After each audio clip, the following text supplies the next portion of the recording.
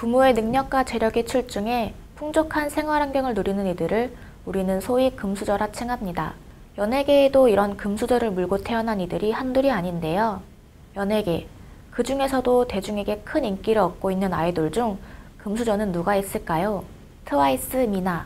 트와이스 미나의 아버지 묘이 아키라 씨는 일본 오사카 대학 미래의료센터 센터장으로 일본 재생의학 부분 최고 권위자로 알려져 있습니다. 미나 할아버지도 페인트 사업으로 매우 성공하여 거의 재벌급으로 불릴 만큼 재산을 가졌다고 하죠.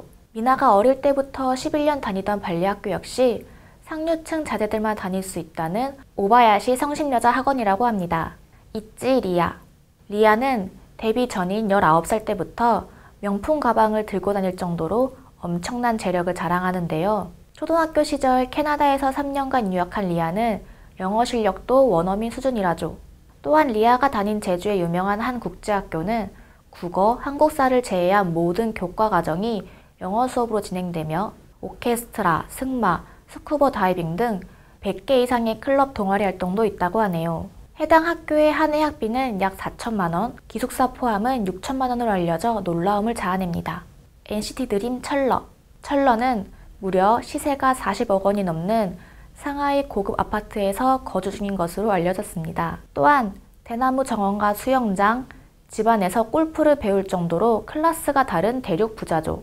이는 철러의 할아버지가 중국에서 열 손가락 안에 꼽히는 인물로 유명하기 때문에 가능한 일이었는데요. 철러의 부모님은 철러를 위해 13살 때 단독 콘서트를 개최하기도 했다네요. 블락비 피오. 피오의 아버지가 운영하는 온라인 면세점 연간 매출은 약 2억 달러. 피오는 고등학교 졸업 선물로 아버지로부터 삐사 외제차를 선물 받았다고 하죠. 또 피오가 평소 자주 착용하는 시계는 알사 제품으로 1200만 원대 고가를 자랑하며 데뷔 초에는 직접 제작한 의상비 80만 원을 일시불로 긁는 쿨함까지 보였다고 합니다.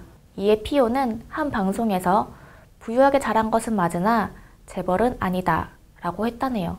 트와이스 쯔위 대만 출신 쯔위는 2016년 방송된 차트는 달리는 소녀에서 3대가 먹고 살 부자 아이돌로 언급되기도 했는데요.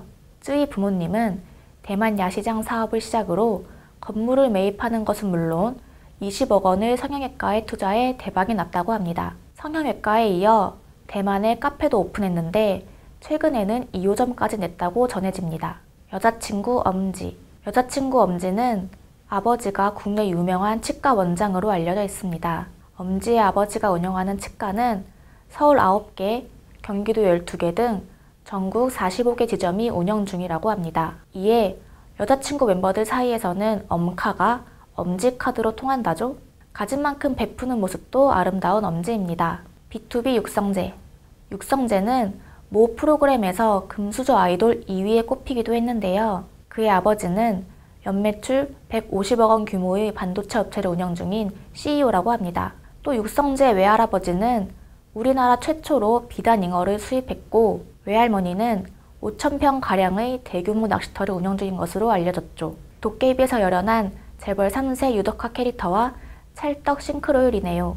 금수저라고 연예계에서도 쉽게 성공하는 건 절대 아닙니다. 끼와 재능, 노력까지 갖췄기에 팬들에게 많은 사랑을 받은 것이죠. 매력부자 아이돌들의 행보를 응원합니다.